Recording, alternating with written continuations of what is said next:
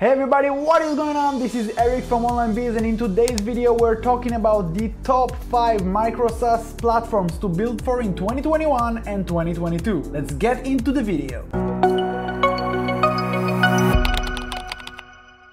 Okay everybody, before we get started, if you haven't already, please make sure to hit that like button and subscribe to our YouTube channel if you like to get more content and hit that notification button so you know whenever I release new videos. Also, if you have any questions, comments or suggestions for future video or for this video, just make sure to comment them in the comment section below and we'll get back to you. Also, if you want to schedule a call with either me or Ruth, just make sure to check out the link to our Clarity profile in the description below. Now, let's get started with our topic for today top micro SaaS platforms for 2021 and 2022. In order to get started, let's first understand what is micro SaaS. You see, the thing is, when a platform gets big enough with enough users, usually they're going to open up a public API for other developers to help them build missing features. And this is how you can make some extra money. The good thing about it is that you're going to get much more free traffic and the marketing side of things is going to be much easier for you. It's going to be easier for you to acquire new customers. Mm-hmm.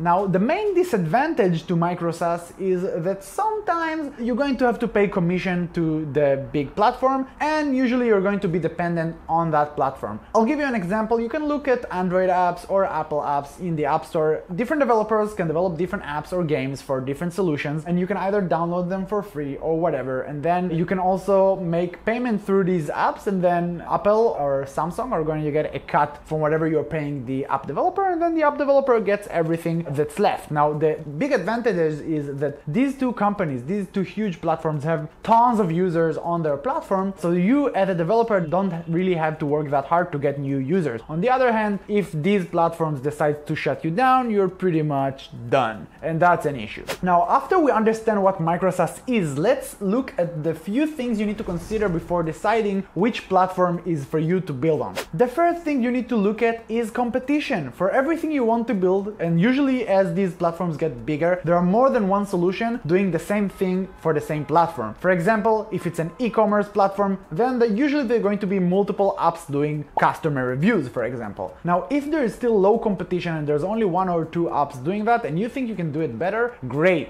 go for it, build it. But if you go for a more mature platform, let's say Shopify, for example, and you just type in the keyword reviews, you're going to see tons and tons of reviews apps just on the first page and it's going to be almost impossible for you to win it over. So again, competition can be good and it can be bad. Just make sure that you're doing something unique if the competition is already there. As I mentioned, if there is some competition, that's fine as long as you're unique. I'll give you an example. If you just search the same app store that we talked about in Shopify for A-B testing, you're going to see there are pretty much like three or five apps doing that. So there's a good chance for you to win over if you have the better product, the better pricing, the better support, so on and so forth. Moving on to the next point, you need to do something you know and love. The reason this is important, if you're a user for a given platform, doing something that helps you in either your business or your day-to-day day life, you know the pain as a customer. And then if you need it, you know that other people will also need it. So there's a good chance you don't have to do as much of uh, market research before jumping into this solution. Now, on the other hand, there are other platforms that are not related to you in any way. There might be some opportunities there, but you don't really know the market because you don't live it. I'll give you an example. I am not a designer, and if you look around, you'll see that there are a bunch of ecosystem with different marketplaces where you can find solutions for. But since I'm not really a designer, I don't really know if the solutions I'm going to provide are real issues needs to be solved by MicroSaaS or am I just imagining it to myself? So just pick something you love and this way you'll know how to think and act like a customer when you're selling the product. The next thing you need to consider is commission and that's I think pretty basic but different platforms have different commissions on whatever you're getting paid. The beautiful thing about MicroSaaS is that most of the times you don't really have to make any payment yourself because the customer already inserted his payment information to the platform you're building on. So you just need to, you know, ask them to make the charge for you so you don't have the hard process of getting the customer to really take out their card and starting to pay you. So that's good, but usually these platforms take commission for that. Most of our services are built on top of Shopify and they take anywhere between 0 to 20%, really depends on what you're doing. I know that Wix takes about 30% commission and it changes from one platform to another. So just make sure you take that in mind and pick something you can afford. The next thing you need to consider is documentation. You want to make sure that it's going to be easy for your developers to work with this platform, no matter how big and how much potential you see. If there is not clear documentation, you can't really build for it. So just make sure that before you run into a project, give your developers to have a look at documentation, make sure you have everything you need. If there are something that are impossible, you need to reach out to the platform and see if it's possible. So documentation is also something you want to consider. And then the last thing you want to consider is just traffic and maturity of the platform. It might be very exciting for you to jump into a platform that is very young, but if there are not enough paying customers, if there's not enough traffic around it, if it, there's not enough attention around the platform, then you might be building for a dying product. You want to make sure that's not something you do. And this is again a balance because if the platform you're building for is over matured, then it's going to be much harder for you to penetrate the market. Now, I'm not saying that it's impossible, but ideally, you would like to identify these emerging platforms where they're still like right before it gets exponential and right then and there if you build a product there is a good chance it's just going to explode with the platform okay? So it's not really gambling but you really need to assess where the market is heading and build in the right time and place. Okay guys so now that we understand what is MicroSaaS and what do we need to look at when looking for MicroSaaS platform let's talk about my top five up and coming platforms for 2021 and 2022 number one we're going to talk about figma now, if you don't know Figma, you're probably living in a cave. But it's pretty much Photoshop, and if you really don't know Photoshop, just close the video and go search Google or something. So Figma is pretty much like Photoshop. It's a tool built for designers, actually and non-designers, that allows you to create different mockups and designs for your business. It's a really awesome tool and you should check it out. And Figma recently launched their community tab, which it basically allows you to add different add-ons and different apps to your Figma designs that allows different developers to build these different add add-ons. It can be anything from UI kits to icon sets or different designs. A lot of things you can do, things related to video, audio. It's really depending on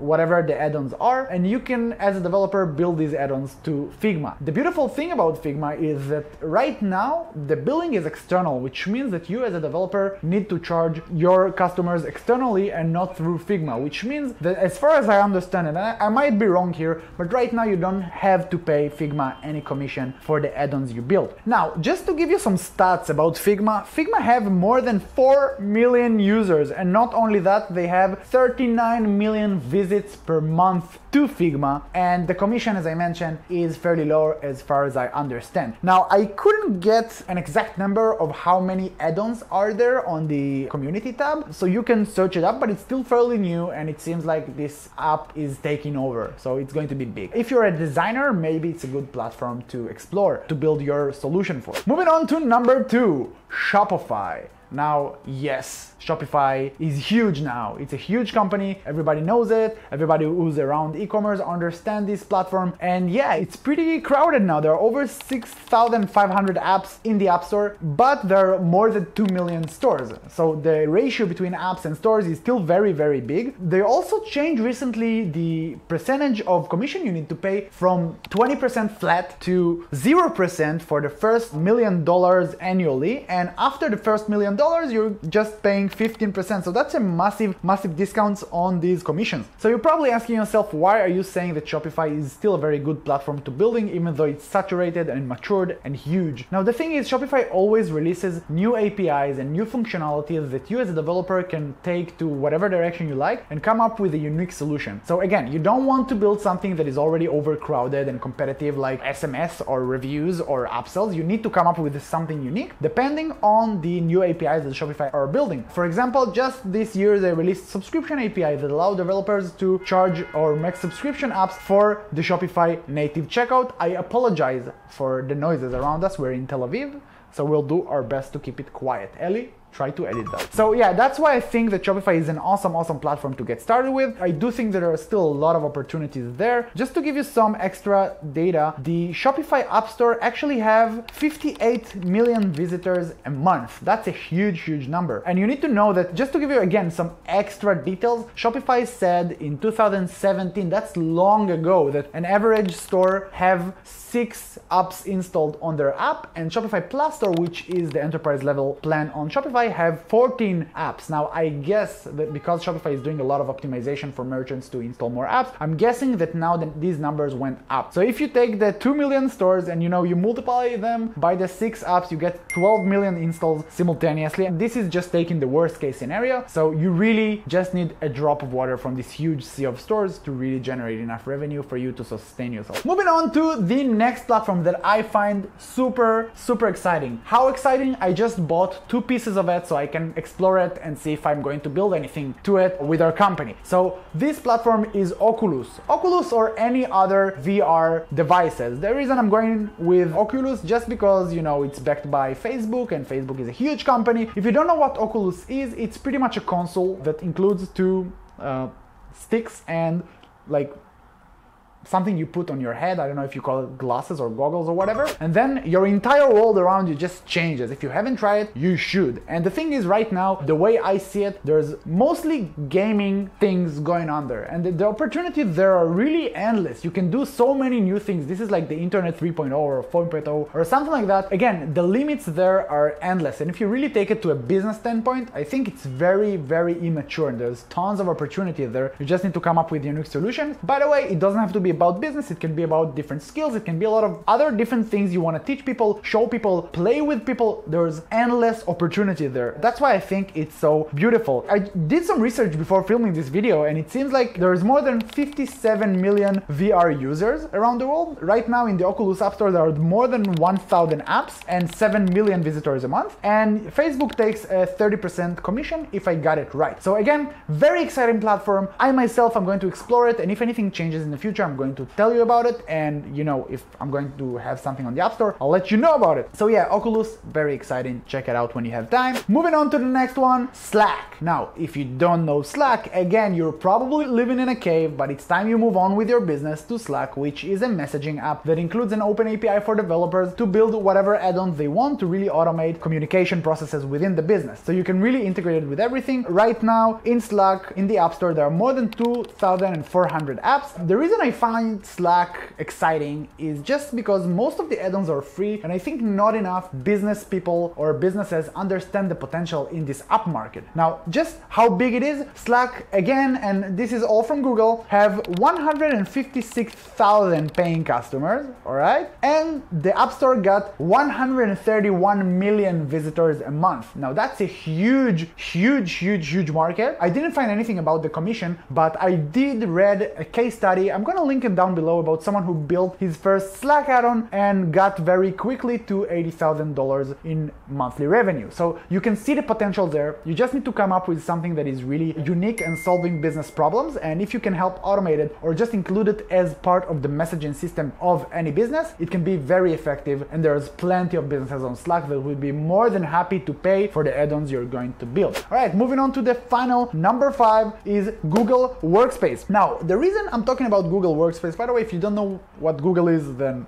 I, I, I don't what should I say? Yeah, you probably know about Google. And the thing is, Google have this suite of tools. It's Gmail, it's Drive, it's Google Meet, and, and, a lot of other things. Most people don't know that, but there is a place called Google Workspace Marketplace where, again, different developers can build different solutions for the Google suite. And the beautiful thing is, everybody uses Google. I don't know anybody who doesn't use any Google product. That's like super rare. And there's plenty of opportunity there. I do think that many developers don't understand the amount of traffic that is in there. And I think that people people don't appreciate the amount of exposure your product can be on. Now, even if you don't want to build your micro SaaS specifically on top of the Google Workspace marketplace, you can just create a very simple integration and get massive exposure this way because I do think there's tons of opportunities there. Just to give you some dry analytics, there are 89 billion visitors for Google. I think that's not a fair assessment because that's not the traffic that is getting to the marketplace, but still, you know, it's Google and there's massive exposure. So this is why I decided to add this as number five. It's a point point for consideration, but I do think that there is so much opportunity there if you just find the way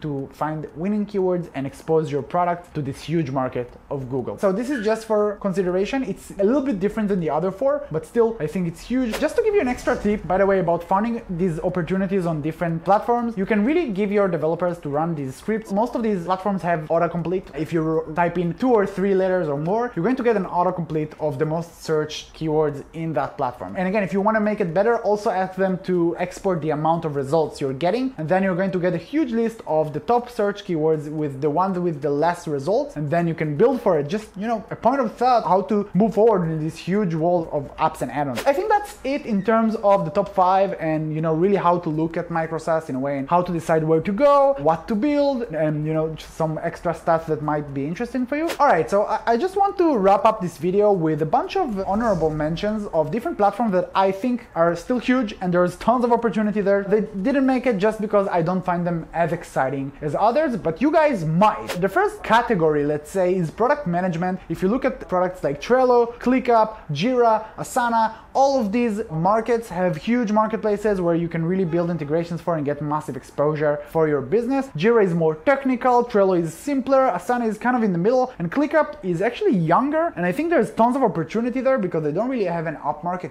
yet. But if you can create an integration, you can get massive exposure because they're big. The next category I think would be website building. You can look at WordPress, Wix, Square, Webflow, tons of others. Again, usually they have some sort of, of app marketplace. You should check it out and you know decide for yourself. Depends on what you do, what you love, again, and the other things that I mentioned earlier in the video. Moving on to the next one, CRMs. If you look at all of these tools that help you manage sales processes within the business, Salesforce, HubSpot, Pipedrive, you can list on and on. And again, if you're coming from the sales world, that's probably going to be a great fit for you because you're going to know exactly what's missing. I'm not picking those because I don't really have much experience in sales. And the last one is e-commerce. Again, Shopify is the top one for me, but you can look at Wix again, you can look at BigCommerce, WooCommerce, Magento. Another one that is up and coming and very interesting that I didn't mention is Cafe24, which is a Korean company that is now trying to get global. So again, plenty of opportunities. Guys, I really hope you enjoyed the videos. Please, if you have suggestions for other platforms that you think are better and I missed out, if there are any things you need to consider before jumping into one and you think I forgot, also mention that below. And if you have any questions, comment, or please guys, if you just